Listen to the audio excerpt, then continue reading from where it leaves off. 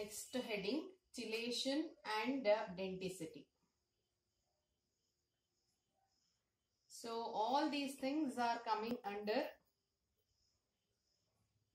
some important uh, terms under some basic terms under uh, coordination compounds.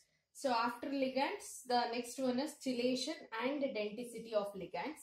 Chelation is nothing but when a bidentate or a polydentate ligand uses uh, what um, uh, uses all its two or more donor atoms to bind to the central metal atom or and forming a ring structure is called as chelation.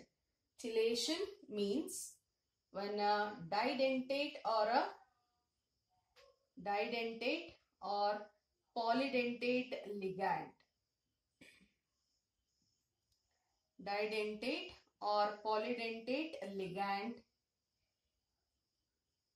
ligand with two और more donor item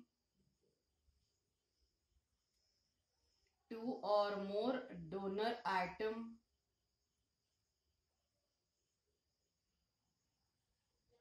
forming a ring structure forming a ring structure with the central metal ion. Central metal ion or atom. So when a didentate or polydentate ligand with two or more donor atoms forming a ring structure with the central metal atom that is nothing but two or more donor atoms are there. They are ligating, they are coordinating with the central metal atom. When they are coordinating with the central metal atom, it forms a ring structure there. That ring structure of the complex is called as chelation. So chelation is nothing but the ability of the di or polydentate ligand with more, two or more donor atoms to form a ring structure while coordinating with the central metal atom is called as chelation. So we shall uh, take up an example so that it will be easy for you to understand. So a bidentate ligand, we have studied many bidentate ligands, oxalate, oxalato. The name comes as oxalato or uh, the common name is oxalate ion. So we have a ethylene diamine. We have EDTA. So EDTA either minus 3 or minus 4. So both are polydentate. Uh, minus 3 is uh, pentadentate and minus 4 is uh, hexadentate. So we'll take up one of the example here.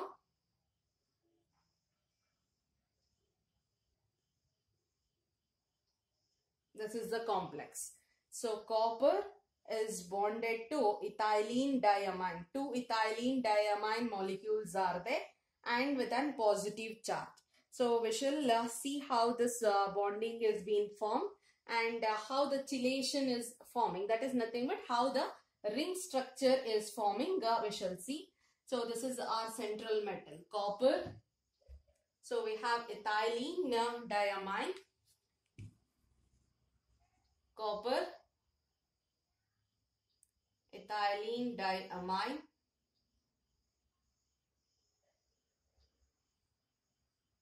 NH2, NH2.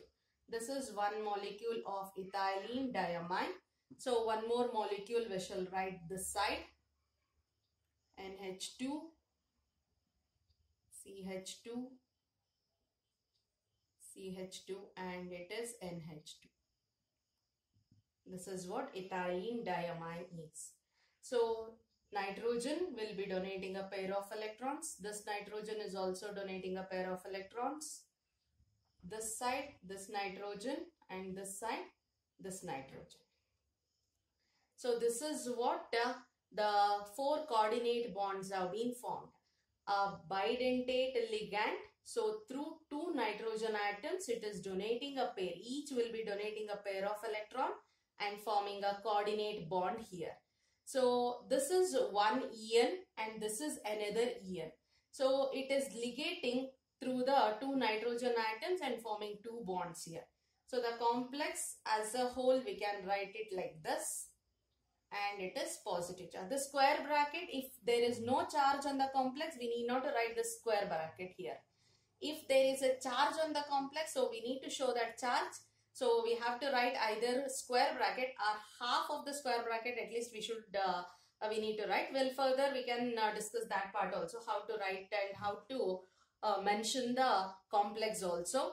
So in this uh, uh, complex, so you can see this as one ring and this as one ring. So this one once again, I mean to make you understand as the ring, uh, we can show En and En. So two ligands, two ethylene diamine are there. So it is donating and this side also it is donating. This is what the ring structure around central metal atom two ring structures are formed. And these ring structures are nothing but chelation the property of the ligand to form a ring structure. Ring structure around the central metal atom is called as chelation. And the ligands are called as the ligands whatever it is uh, what are forming and uh, what a ring structure. Those ligands are called as chelating ligands. They are nothing but chelating ligands. I hope it is clear. I'll repeat once again. Chelation is nothing but when di or polydentate ligands with two or more donor atoms forming a ring structure with the central metal ion or atom. That ability of the ligand to form a ring structure is called as chelation or the ring formation across the central metal atom by the ligand is called as chelation and the ligands are nothing but chelating ligands. Such kind of ligands are called as uh, chelating ligands. So this is about uh, one of the example we have seen that is uh, CuEn twice uh, plus. So uh, we'll move on to the next uh, example where uh, we have uh, what this is nothing but based upon the ligands also we can name this one. This is a bidentate ligand we have taken. So the name becomes so bidentate chelation. The process we can I mean it chelation is nothing but it is a general name so if at all based upon the ligands, if you have to classify, then it becomes a bidentate chelation. If you are taking tridentate ligand, then it becomes an uh, terdentate chelation. It is not tridentate, it becomes terdentate chelation. So we shall uh, take up one of the one of that example also.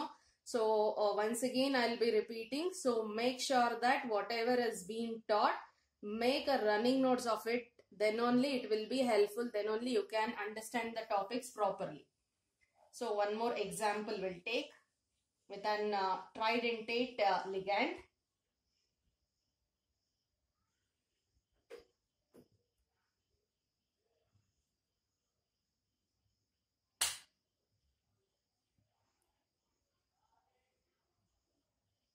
So this is an example. This is an example so we have an example of uh, what a tridentate ligand here. So in this uh, DIEN that is nothing but diethylene triamine. Diethylene triamine it is an tridentate ligand. So tridentate uh, ligand. So observe here this is a central metal atom. It, it is forming one bond with the Cl it is tridentate that is nothing but it has three donor atoms. So one from here and three from here. So total four bonds platinum is forming. I hope it is clear. So here in this example it is an bidentate ligand. It is an bidentate ligand. So in this bidentate how many molecules of bidentate ligand are there? Two molecules of bidentate ligand are there. So each one is forming two bonds. That means that 2 into 2, 4 bonds. So 4 bonds uh, we have seen already. 4 bonds have been formed with uh, copper. So here tridentate 3 and 1. 4 bonds have been uh, formed. So we shall uh, write the structure. So how it is forming chelation we shall see. Platinum with the Cl. So we can uh, write the structure in this dimethyl it has been. I mean diethylene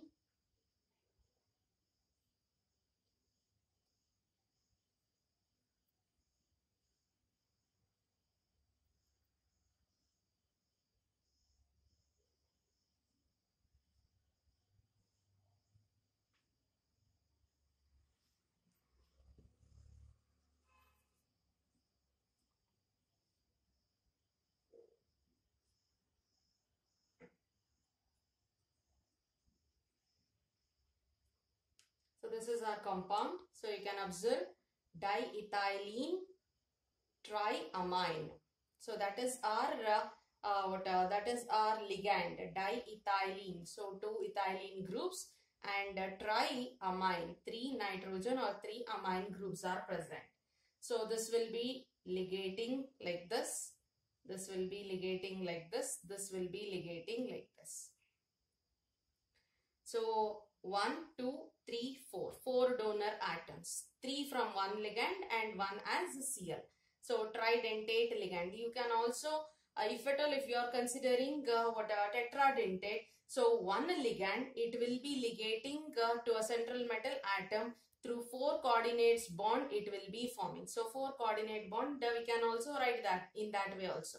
So if at all, if it is seen. So here it is plus once again. I said uh, so what uh, either you can write in this way. Either you can write full bracket, full square bracket like this or you can just show a symbol of square bracket and you can write a positive charge. This is also fine. So the on the complex there is an positive charge it is going to indicate.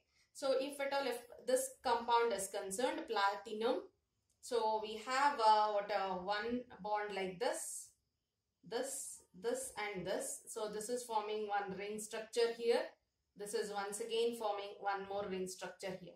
These ring structures are nothing but chelation and the ligand is nothing but chelating ligand.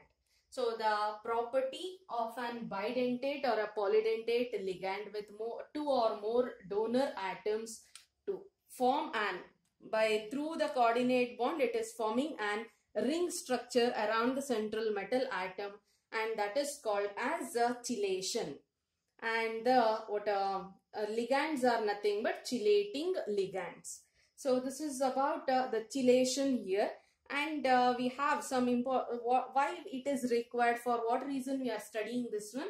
We shall see that one also. Before that one more uh, thing that is denticity so denticity is nothing but so a ligand. It is denticity of a ligand here so denticity is nothing but how many coordinate bond a ligand can form. The number of coordinating or ligating groups. The number of coordinating or ligating groups it has. Coordinating or ligating groups are present in a ligand.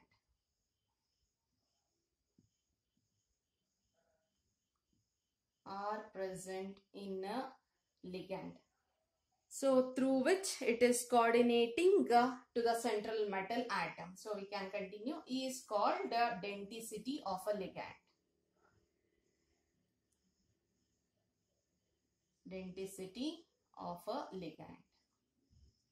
So that is nothing but number of coordinating or ligating groups, number of donor atoms. So in turn we can write number of donor atoms. Number of donor atoms or we can also write it as number of coordinate bond. A ligate, how many coordinate bond it can form with a central metal atom that is called as denticity of a ligand. So number of coordinating or ligating groups. So we can see here it is an bidentate ligand. That means that each each en that is nothing but ethylene diamine one molecule of ethylene diamine can form two coordinating bonds with the copper that is nothing but it has two donor atoms two nitrogen as the donor atom likewise one more so that is nothing but diethylene triamine so in this diethylene triamine it has three donor atoms or three coordinating or three ligating groups are there three ligating groups or three donor atoms are there. So through three donor atoms, it is forming three coordinate bonds. So the denticity of this ligand is 3. So a ligand, how many number of uh, donor atoms it has or how many number of coordinate bond it can form with the central metal atom. So that is nothing but denticity of the ligand. That's what we have studied uh, like monodentate, bidentate, whatever, polydentate and all. So that indicates, that itself indicates the denticity of the ligand here. Some important characteristics of chelates. Already we have discussed uh, chelation. So why it is important and what are the characteristics of this one uh, we shall see now. So chelating ligand form more stable complexes than monodentate ligands. This is called chelating effect. This is very, very important. So, uh, in one of the competitive question, four, uh, four complexes being given. So, in that three were, uh, three were with only monodentate ligand and uh, the fourth one was uh, with the, uh, what, bidentate ligand. So, their bidentate ligand is forming a ring structure around the central metal atom because of which it is more stable in nature. So chelating ligand form more. Chelating ligand is nothing but bidentate or polydentate ligands which forms the ring structure around the central metal atom form more stable complexes than the monodentate ligand. So if at all if the complex is with, if the complex is with only monodentate ligand then it is going to form like this. So to break these bonds are very very easier. If at all if it is an ring structure like this then the complex forms a more stable complex because breaking the uh, bonds uh, with the ring structure is uh, difficult. So that effect is called as chelating effect. So ligand with the chelating uh, ability or which shows chelation is forms more uh, stable complexes than the monodentate ligand. That is the first characteristic of chelates or uh, first important property of chelation. Next, greater the denticity of the ligand, more stable is the complex formed.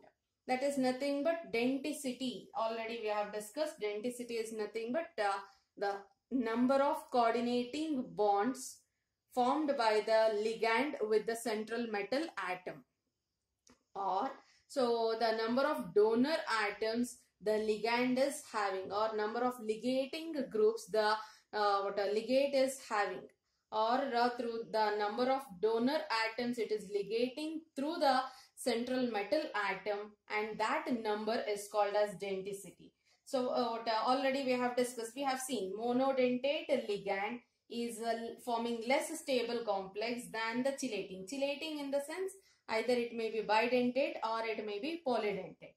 So in monodentate the denticity is 1 and in bidentate or in polydentate uh, the denticity is uh, uh, so denticity of the ligand so greater the denticity of the ligand, more stable. That is nothing but bidentate or polydentate. So it is being compared with the monodentate ligand. So than monodentate ligand, bidentate or polydentate ligands, whatever it is, it will be forming the more stable complexes. Next one, ligands with the larger groups form unstable rings than the ligands with the smaller groups due to the steric hindrance. So that is nothing but so here it is not uh, regarding the uh, what uh, regarding the denticity of the ligand. It is regarding the ligands or the uh, what the size of the ligands here.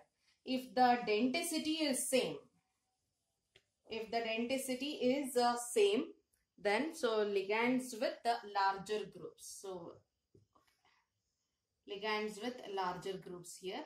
So if the denticity is the same denticity remains the same but the size of the ligand is uh, so let us consider this is uh, so this is one of the ligand where the size of the ligand is very very small. It is an bidentate ligand in the same way in another example